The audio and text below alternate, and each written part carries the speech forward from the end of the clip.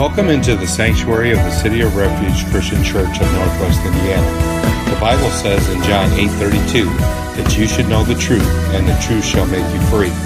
So get your Bible and follow along as Pastor Perlo brings forth the words of life.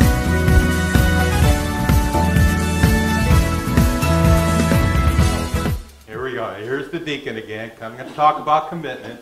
We got things to do, and I think I got a little twist to it today. Okay? And uh, commitment is a pledge or an undertaking, a state of quality of being dedicated to a cause or an activity, a willingness to give your time and energy and resources to something that you believe in. We spend a whole lifetime being committed to one thing or another. Um, I can remember when, even at a young age, I can remember um, getting up early on a Saturday morning to watch cartoons. Committed. And, and, I was upset if I had to watch H.R. Puffin stuff or something like that. You know? Instead of, you know, the Roadrunner or anything, you know. Um, we're committed. After that, I was committed to music sports. All those things took time and patience and everything you needed to do to, to be good at it, to, to move forward and to have fun while you're doing it. Later in life, we committed to making a living, being committed to a bride or a spouse, committed to providing for a family, and so on and so on. So it, it's not strange that I find myself here, mm-hmm. but it's not strange that we commit to things. But what about God? What, what do we commit to God? What do we commit for God?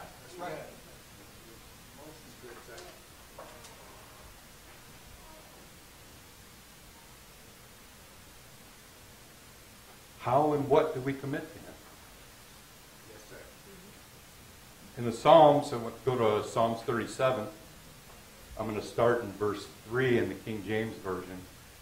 And if I can get the King James Version out, I'll be good. But it says, Trust, trust in the Lord and do good. So shalt thou dwell in the land, and verily thou shalt be fed.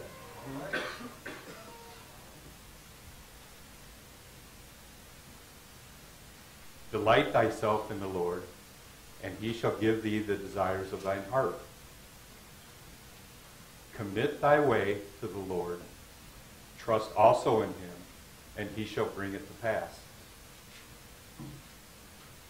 And he shall bring forth thy righteousness in the light, and thy judgment as a noonday. I like that, and what I did is I went, went to the New Living Translation, and it says, Trust in the Lord and do good. Then you will live safely in the land and prosper.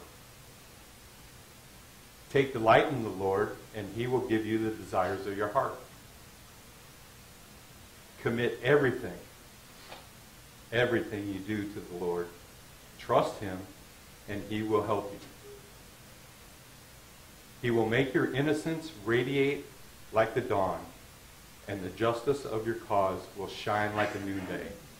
That verse there was like poetry to me. The innocence, your innocence will radiate like the dawn, and the justice of your cause will shine like the noonday sun. That is beautiful to me. When I got to think, there was a couple of words that stood out there to me. Was the innocence, and your cause.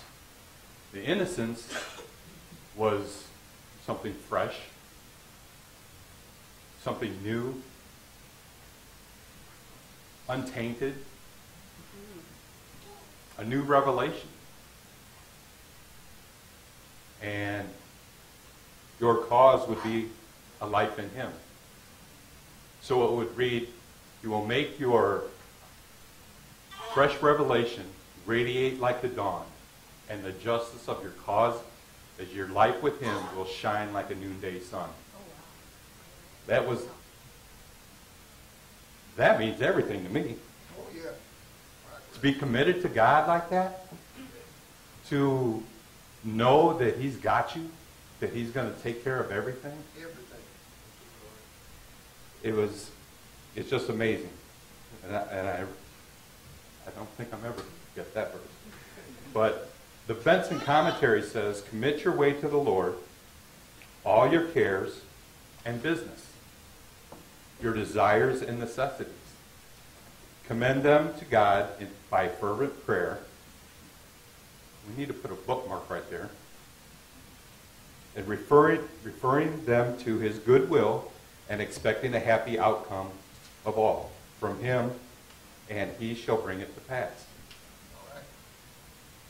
What's he going to bring to pass? All our cares, Yes, our family, Yes, our health, our business, everything that we do throughout the day. And I know there's a lot of moms out there today, and, and they probably know the phrase "nunya." None your business. That don't work with God. Okay? God wants to know everything about what we're doing. That's right. um, our desires, our hopes, and our dreams, the necessities of life food, shelter, clothing, income. In Psalms 20, 20 and 4, it says, He may grant your heart's desire and make all your plans succeed. So, if I commit to God, He's going to give me the, my heart's desire. He's going to bless me if I commit to Him. Does He have any idea what's spinning around in my head on a daily basis? yes, He does. In Psalms 139, verses 1 and 2 in the New Living, it says, O Lord, you have examined my heart and know everything about me. Yes, sir. You know when I sit down or stand up. You know my thoughts even when I'm far away. Yes, sir. In the Amplified Version, it says it like this O Lord, you have searched me thoroughly, and you have known me. You know when I sit down and when I rise up. You know my entire life, everything that I do. You understand my thoughts from afar.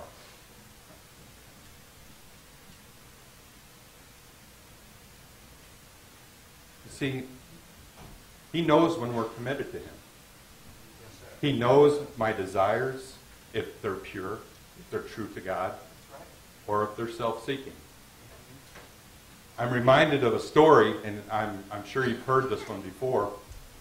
Um, there were these four men who believed in a vision that had been received from the man of God, from God. They would come together every week, which seemed to go on forever. But staying committed to the vision and the task, task at hand, through the highs of accomplishment and the lows of thinking they're getting nowhere fast. There was many discussions on how great God is and the things that they have done through each one's life. And different recollections of how God touched their lives, all which brought glory to the Father. Before that task was completed, God started stepping in on behalf of and on behalf of the desires of these men. There was a contentment in life being committed to God. There was a desire to work full time for God. There was a healing touch for an ailing body. Yes, sir. There was a fresh revelation in how to take a ministry to a new level. Commitment? Hey, I believe so. There was a commitment to God. There was a commitment to the ministry. Yes, sir. and there was a commitment to each other. And with God being in the center of it, it couldn't fail. That's right. That's right. It could not fail. Through all of that, there was a bonding that took place between them men. And unity was brought. And a camaraderie that God put his stamp on and said, this is good. Yes, sir.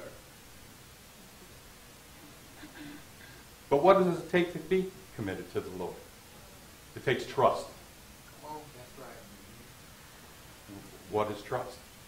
Trust is an undeniable feeling that whatever God says is true, that He will never leave us or forsake us, That's right. That He's always going to be there for us. Yep. Amen? Amen. In Psalms 118 and 8, it says, It's better to trust in the Lord than to put confidence in the man. It is better to trust in the Lord than to put confidence in princes.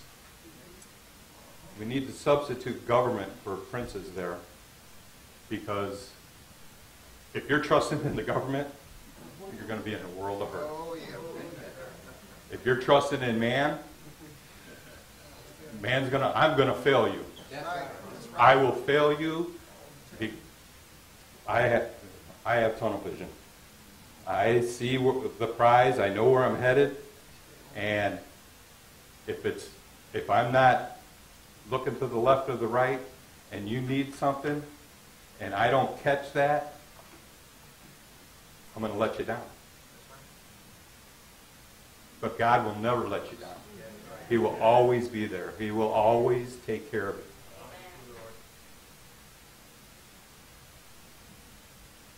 in Nah- Nahum 1 and 7,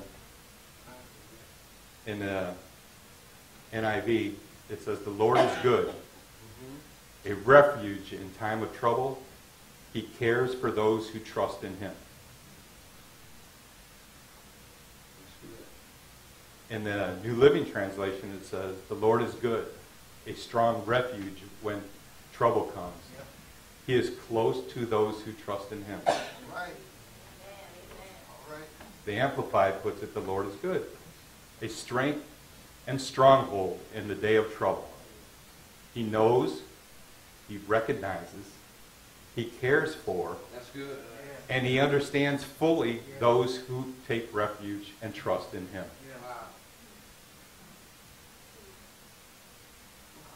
He understands me fully. He understands you fully. I don't even think my wife totally understands me fully. But God does. And all it's a tr- the trust that relationship that is made and and nurtured throughout the years it just goes without saying with my wife i yeah, she's right there talked about that in the min- marriage ministry the other night right yes she's right. right there right. i can trust she's there but you know what i can come over here god's here he's got me he knows what's going on he's going to handle it I don't have to worry. That's right. Amen? That's right. Amen. Amen. Amen. Your trust will be challenged. Oh, even, even Jesus had to endure this. Mm-hmm. In Matthew 27, 41 in the Amplified Version,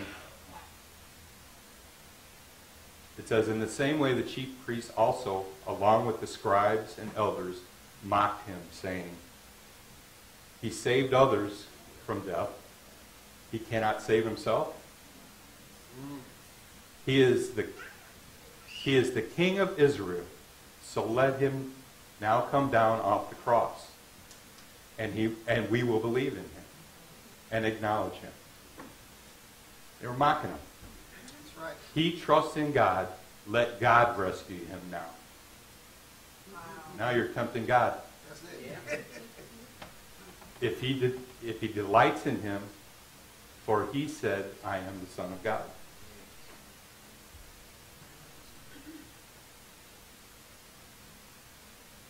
And even in that in those challenge of, of hatred and mocking. Jesus wasn't, he was in control. And I like to think that while he was hanging there on the cross, he knew he was he had scripture running through his head that he was believing, he was trusting in the Lord. He knew what was going gonna what had to happen and he knew what was going to happen. That's right. And I like to think that he went back to the Psalms in Psalm 25 and 2. He says, Oh my God, in you I have an unwavering trust. And rely on you with steadfast confidence. Mm. Do not let me be ashamed, or my hoping you be disappointed. Do not let my enemies triumph over me. And we all know the end of that story. He conquered that. That's right. He conquered that. To be committed, there must be sacrifice. Um, I'm going to go to 1 Chronicles 21 and just a little bit of background. Um, David found himself in a jam again. He wasn't doing what he was supposed to be doing. He took a census, and he wasn't supposed to. And judgment was coming on the state of Israel. And he had three, three choices to choose from. You get a plague, famine, or he turned over to the enemies, or he had, and what he chose was he gave it to God for him to decide. 70,000 people lost their lives, right. but it could have been worse. Yeah. And God always gives you a way of escape. And he gave David a way of escape. He sent he sent an angel to tell tell David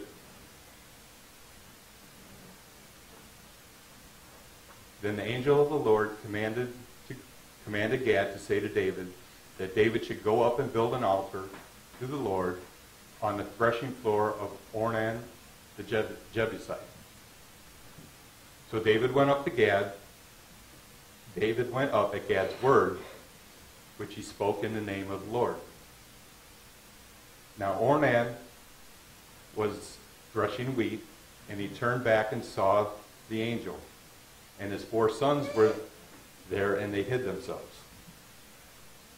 As David came to Ornan, Ornan looked and saw him, and he went out from the threshing floor and bowed down before David with his face to the ground. Then David said to Ornan, Give me the site of this threshing floor so that I may build an altar, build an altar on it to the Lord.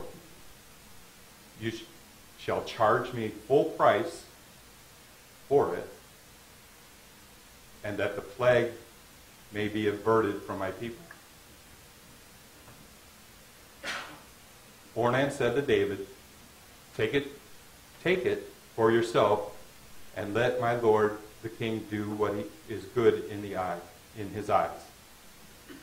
See, I will give you the oxen and for the burnt offerings and threshing sledges for wood, and the wheat for the grain offering.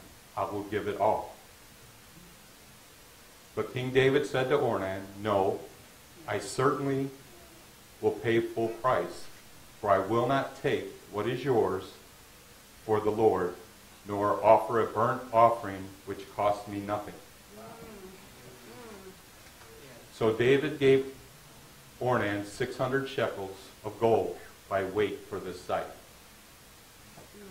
When David wanted to buy Ornan's land to, to build the altar, Ornan generously offered it as a gift. But David refused, saying, I will not take what is yours to give it to the Lord. I will not present a burnt offering that cost me nothing. David wanted to off, offer as David wanted to offer an offering or a sacrifice to God.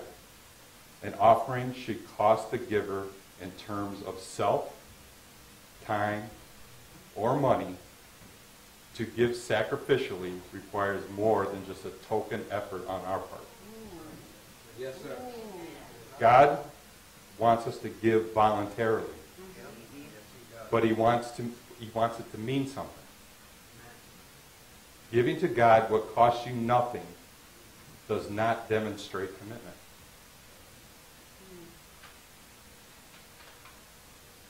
You know, we said earlier that commitment was a state or a quality of being dedicated to a cause or an activity.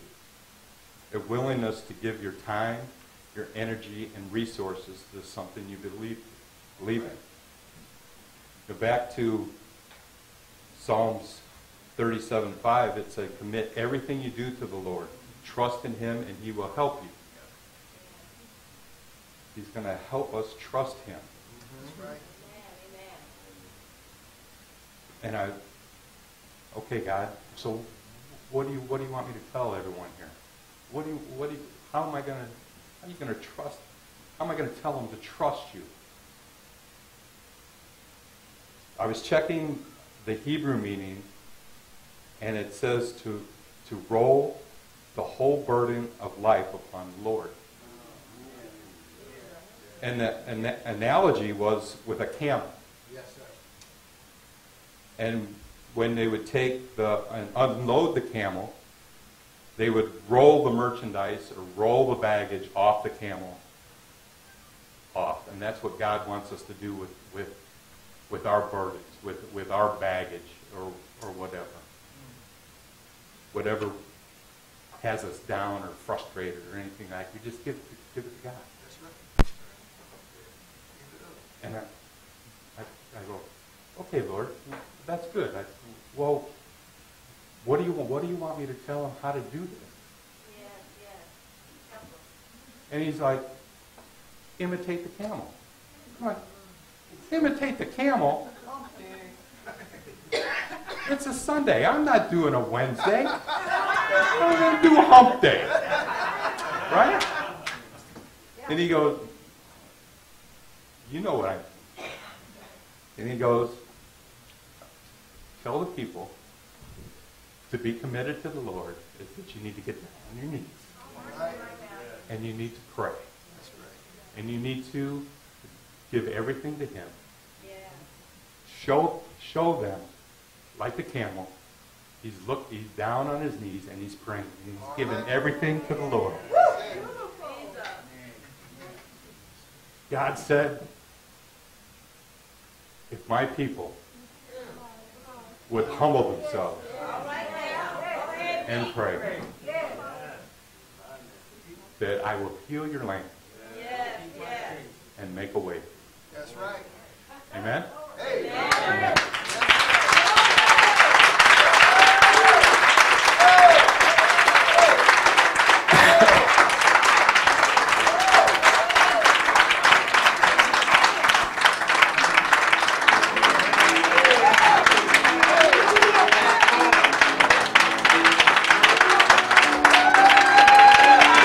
Yes.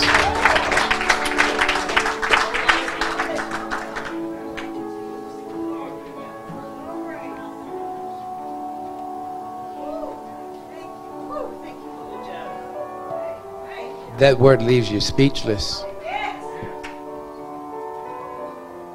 I wasn't ready to get up. I was ready to hit that posture of prayer and just give everything to the Lord. We get so busy in life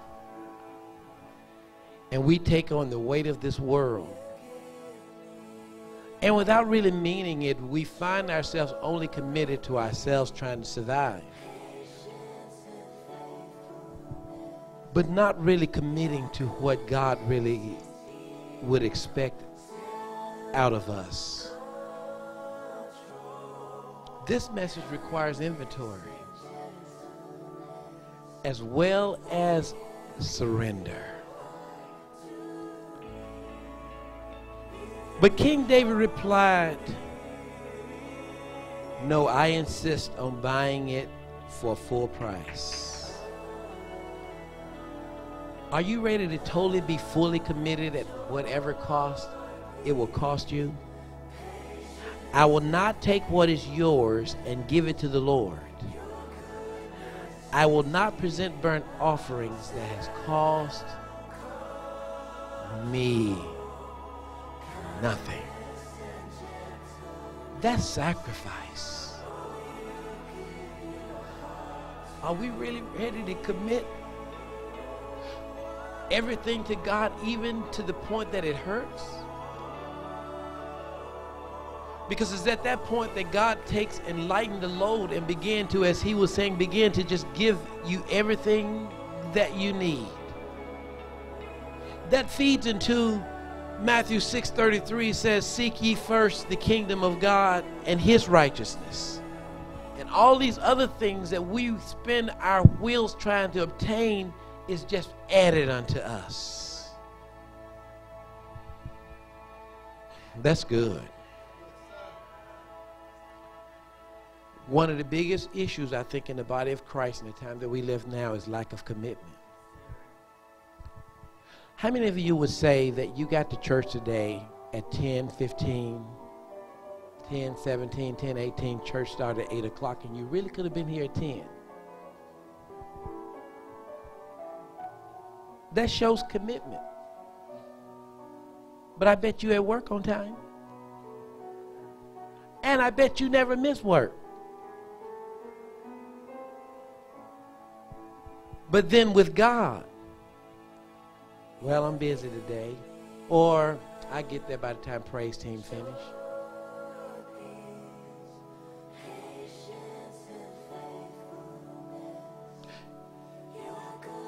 It was amazing. Lady Linda and I went to see Brenda in Detroit.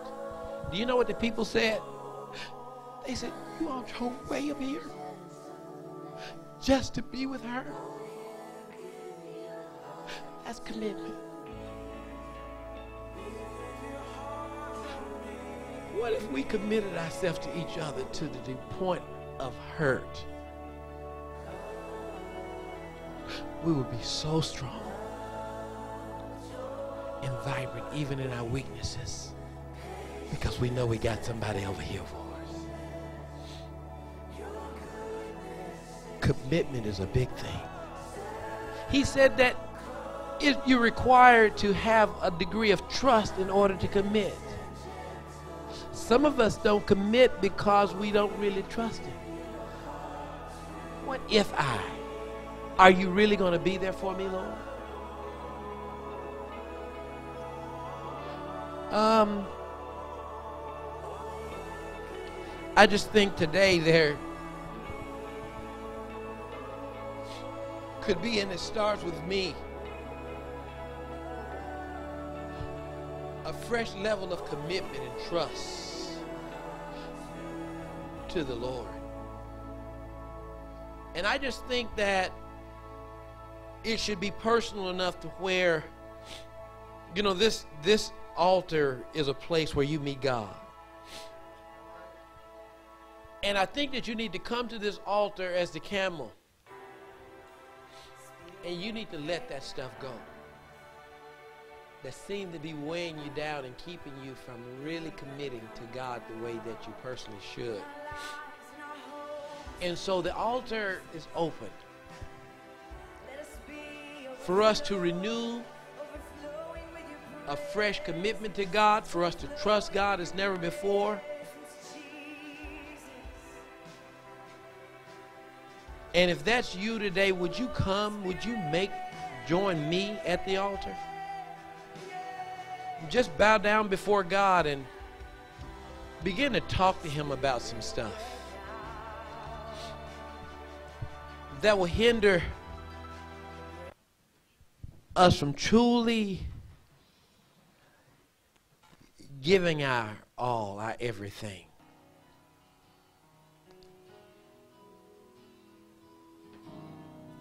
And it's just between you and him this morning.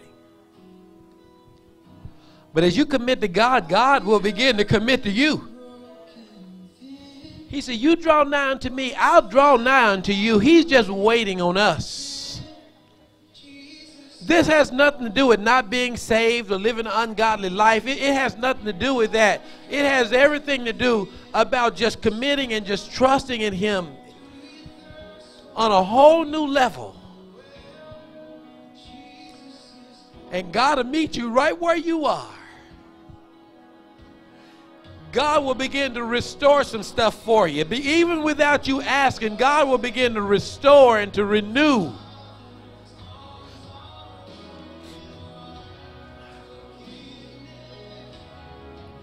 Father, we thank you and we praise you. First thing, God, forgive us. Forgive us, God, for not committing to you to the degree that we should commit, not trusting you the way that we should trust, not giving you our everything. But we're unloading today, Father.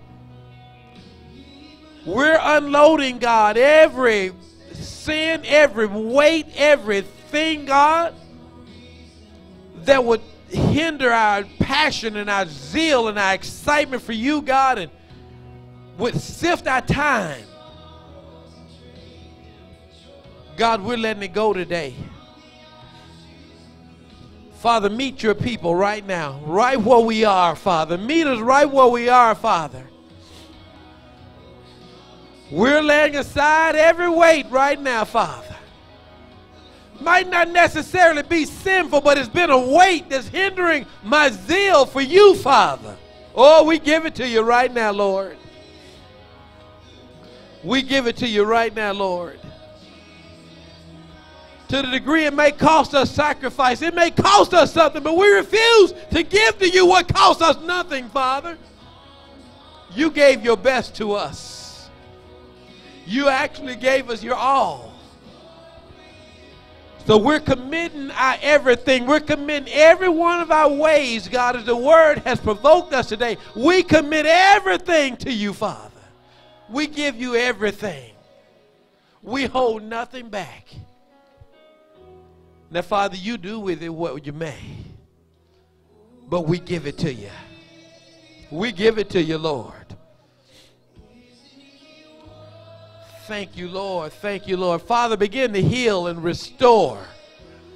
God, begin to heal, begin to restore, reestablish some things, making things right, Father. Make it right, make it right.